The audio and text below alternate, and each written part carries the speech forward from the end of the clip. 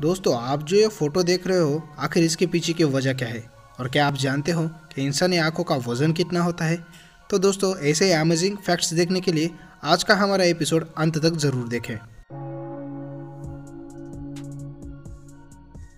Fact number ten क्या आप ये जानते हो कि जो हाथी होते हैं, उनकी स्मेलिंग पावर इतनी ज़्यादा होती है कि वो तकरीबन पाँच किलोमीटर की दूरी से ही पानी का पता लगा सकते हैं? और इसी स्मेलिंग पावर के चलते हाथी पानी तक बहुत ही तेज़ी से पहुँच भी जाते हैं। फैक्ट नंबर नाइन ये एक बहुत ही मज़ेदार फैक्ट है।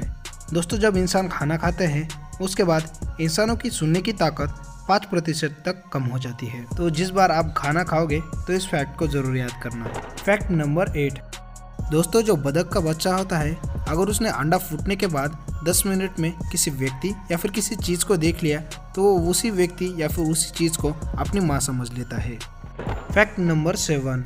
दोस्तों, आप इन्हें तो पहचानते ही होंगे। इनका नाम है रॉबर्ट डॉनी जूनियर, जो कि एम में आयरमैन का कैरेक्टर प्ले करते थे। इन्हें 1999 में ड्रग पेडलिंग में पकड़ा गया था। और आज देखिए रॉबर्ट डॉनी जूनियर कैसे क्या बन गए हैं।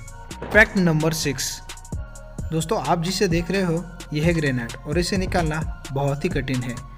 लेकिन क्या आप जानते हो कि तकरीबन 5000 साल पहले यह मंदिर, जिसका नाम बृहदेश्वर टेंपल है, इसे तकरीबन एक लाख तीस हज़ार टन ग्रेनाइट से बनाया गया था और ये दुनिया का पहला ऐसा मंदिर है। Fact number five. दोस्तों, अगर कोई व्यक्ति अपने आप को आईने में 10 मिनट से ज़्यादा देखता है तो उसका सबकॉन्शियस माइंड ये सोचने लगता है कि उसके पीछे कोई तो खड़ा है। Fact number four. दोस्तों, क्या आप जानते हो कि पृथ्वी पे जितना भी फ्रेश वाटर है, यानी ड्रिंकिंग वाटर है वो सबसे ज़्यादा पानी ब्राज़ील के पास ही है। Fact number three. दोस्तों, गॉड ऑफ़ क्रिकेट यानी सचिन तेंदुलकर ऐसे पहले व्यक्ति है जिन्हें डीआरएस द्वारा यानी थर्ड अंपायर द्वारा आउट करार दिया गया था। और ये हुआ था सन 1992 में डरबन में इंडिया वर्सेस साउथ अफ्रीका के मैच में। Fact number two. दोस्तों, क्या आप जानते हो कि ह्यूमन आई का वेट कितना होता है? तो ह्यूमन आई का वेट होता है 7.5 ग्राम। Fact number one.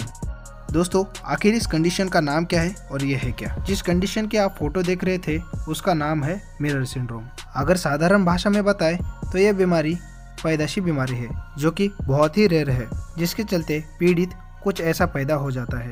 और ऐसी पहली केस 1892 में स्कॉटलैंड से दुनिया के सामने आई थी। अगर आपको आज का एपिसोड पसंद आ गया है तो वीडियो को लाइक कीजिए शेयर कीजिए और कमेंट देके हमें ज़रूर बताएँ कि आपको वीडियो कैसा लगा।